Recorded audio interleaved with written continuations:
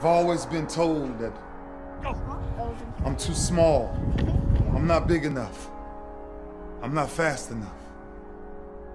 I don't have what it takes.